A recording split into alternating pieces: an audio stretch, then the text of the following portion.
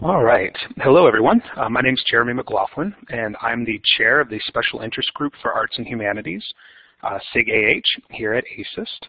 On behalf of my colleagues in SIG-AH and SIG-VIS, the Special Interest Group for Visualization, Image, and Sound, and on behalf of ASIST in general, I'd like to welcome everyone to the second day of our virtual symposium on information and technology in the arts and humanities. Uh, this morning we're going to uh, do a quick recap of yesterday just to discuss some of our um, introductions and um, some of the things that we discussed and, and uh, some of the presentations that we heard from yesterday. And then we're going to move into um, the schedule for today. We've been working on the symposium for quite some time, and uh, we're happy with the turnout. Um, the response that we've gotten and the RSVPs for one or both days has been great. Uh, we had people coming in and out throughout the symposium yesterday, and I expect the same today, but what you're looking at here is just a map of where we received RSVP from. So uh, you can see we covered a uh, majority of the states in the U.S. and several countries. Um, we also have someone joining us quite early in the morning from uh, the University of Hawaii in Manoa this morning. So uh, thank you for coming, and um, we're really happy to have everyone, and um, welcome.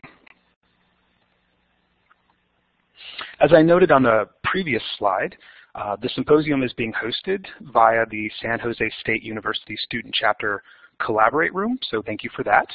We're also co-hosting today uh, SIG-AH and SIG Viz. So I'd like to invite uh, Krystyna Matusiak, the chair of SIG Viz, to take the mic and introduce the SIG and herself. Krystyna.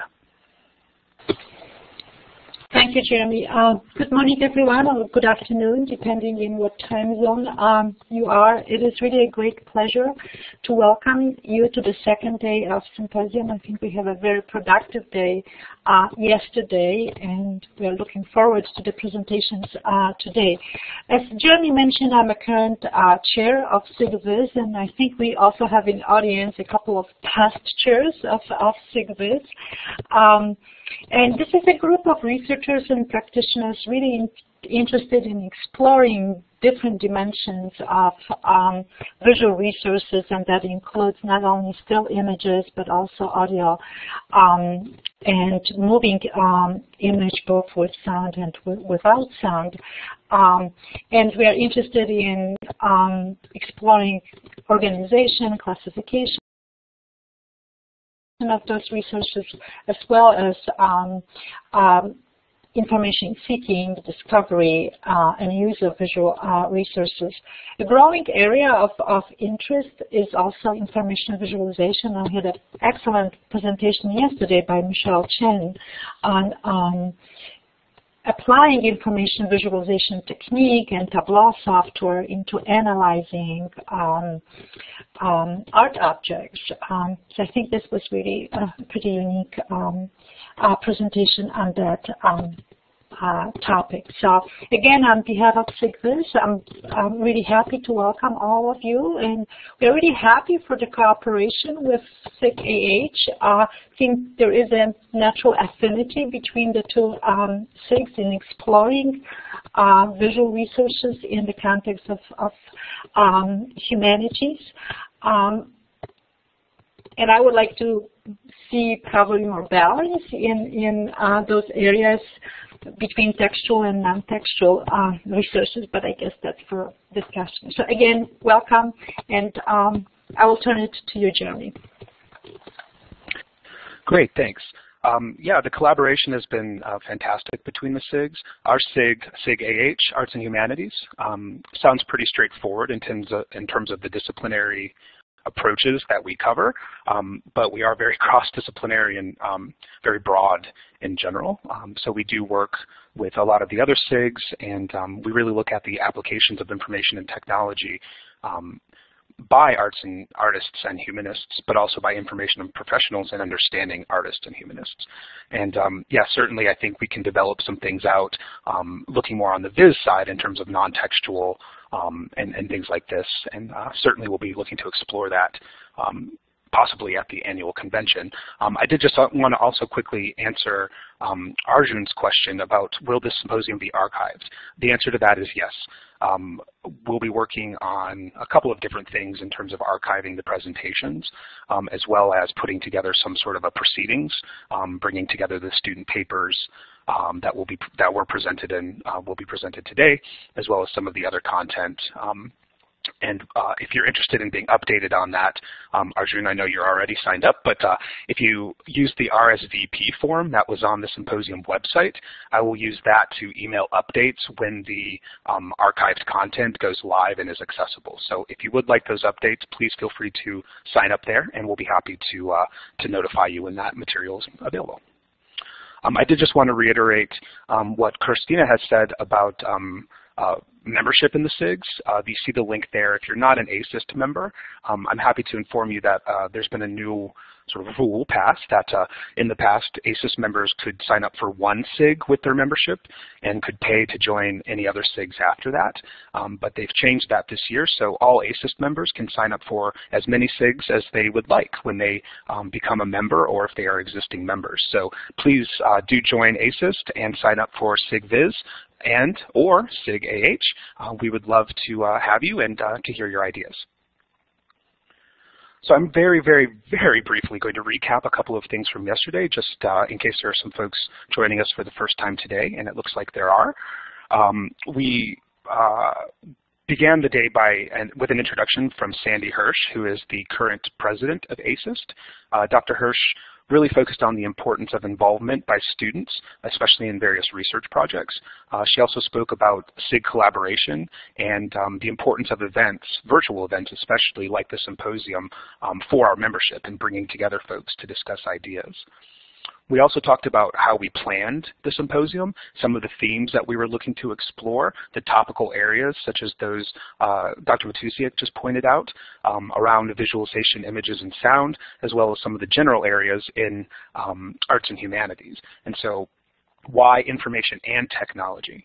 Why were we collaborating with SIGVIZ and SIG-AH to look at arts and humanities and visualization, images, and sound?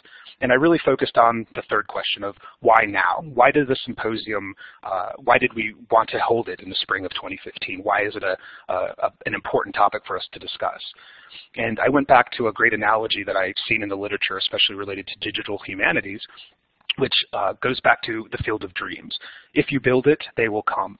And folks like to point out that um, when it comes to information and technology in the arts and humanities, the question really is, if you build it, will they come? And who are they? What are they there for? And how can we increase that traffic? How can we work more closely with humanists to understand their needs for information and technology so that we can build those digital communities?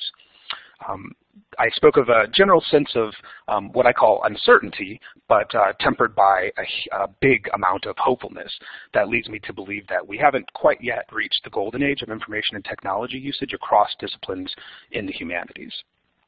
Um, Krystyna mentioned uh, Michelle Chen's presentation, um, looking at semantic analysis and data analytics and visualization of artists.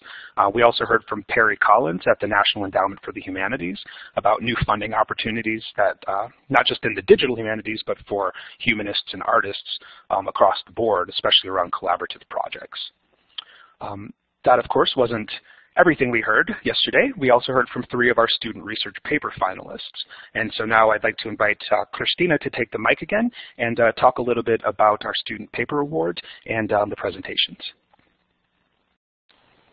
Thank you, Jeremy. Um, we discussed this a little bit yesterday, but because we have new um, participants joining us, I just want to recap that, that uh, the student presentations um, emerge from a um, paper competition um, and the call for um, papers was uh, issued um, in, in February. And we encourage participants from really a broad range of disciplines. Obviously, uh, library information sciences is one of them, but we also encourage participants from arts, humanities, and, and computer uh, science. Um, the theme of the uh, uh, student contest was pretty open-ended, and we invited uh, participation from really a variety of theoretical and empirical perspectives. So we had some original empirical research um, in uh, the uh, submissions as well as, as more theoretical um, reviews of, of topics. Um, from the uh, paper competition, and we received seven um, uh, submissions. Five uh, finalists uh, were selected, and the papers, again, went through a blind peer review. We had a panel of five uh, judges um, evaluating and ranking those papers so that presentations that uh, you have an opportunity to um, listen to at the symposium were selected in, in, in that process. Um, we are sort of in a second phase of, of evaluating and ranking. Another independent uh, panel of judges is evaluating uh, the student presentations, and then we will sum those, those rankings, and as a result of that process, we will select uh, two um, winners and, and SIG AH and SIGVIZ are sponsoring um, um, uh, awards for those uh, finalists. So we um, had three presentations yesterday. Unfortunately, one of our finalists is not able to attend today, so we have one more um, today, and this will be a presentation by Melissa Higgins from the University of Denver. Jeremy, I think we can now uh, turn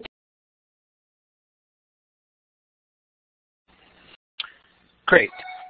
Um, yeah, it's been very uh, exciting bringing in the student uh, paper competition aspect to the symposium, um, and it's really helped to round out uh, the topics and the themes that we've been able to discuss. Um, so I wanted to just look at the schedule for today. Um, we're right on track in terms of uh, our start and um, moving into our first presentation, which will be from Stacy Konkiel at Altmetric. Um, as uh, Krystyna pointed out, one of our student finalists for today, unfortunately, um, is not able to attend. Um, so we will only have one student finalist presenting during that 2.15 to 3 o'clock time frame. Um, I invite Melissa to um, talk as slowly as she possibly uh, would like to. Um, we certainly don't uh, aren't going to try to extend out your presentation um, too extensively, but um, uh, we certainly are going to have a little bit of time in the middle there. So perhaps we'll try a discussion and um, we may just take a, a quick break. Um, we do have a, lot, a long um, set of presentations in the afternoon, so we'll, we'll deal with that as it comes, but did just want to point that out there. Um, and again, we, if you need to uh, come and go, please feel free to. Um, I have built in Q&A time into each presentation um, block so that we can have direct Q&A with, with each uh, speaker after Amy Rudersdorf this afternoon, um, I'll be doing a quick uh, wrap-up, and uh, we'll then open it up for general Q&A and discussion for any of the speakers throughout the day, um, or to discuss any of the themes or topics from the two days of the symposium. So we do have Q&A built in, um, but certainly everyone can feel free to type questions in the chat box during anyone's presentation. Uh, Krystyna or I will be moderating and keeping track of questions to ask the speaker. Everyone can also feel free to take the mic um, during the Q&A session if you would like to uh, interact with the speakers that way. So um, have a really exciting um, and busy schedule for the rest of the day today. And I'm going to take just a quick pause while I upload the slides for our next presentation, and then we'll get moving forward. So give me one quick second, and we'll get going again. Thanks.